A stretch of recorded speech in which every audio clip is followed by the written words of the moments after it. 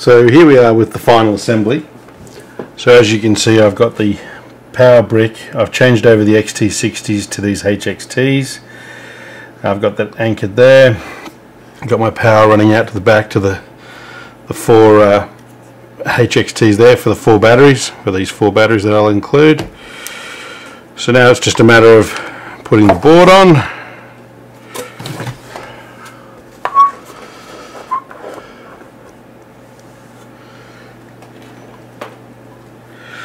I'll just run some of these cables through. There's one. That's the steering servo. That's the power servo for the speed controller, sorry. And last but not least, if I can tuck it through,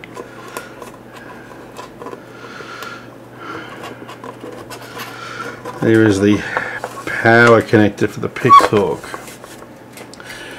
So if I just quickly put the Pixhawk back on, got all our pieces here, secure that in place there, secure the radio there, secure the the GPS there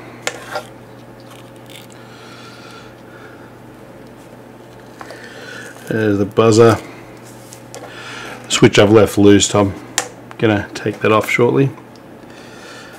And then we just run the power cable through.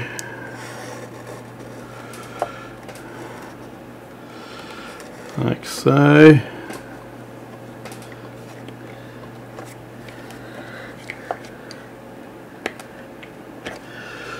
Power there.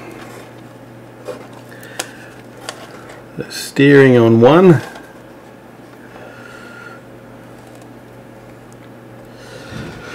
So just pop the steering on one there like so. And the power.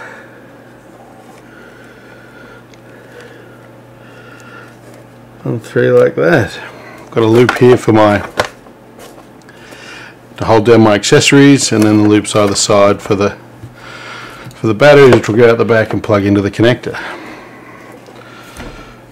So that's it. All ready to go.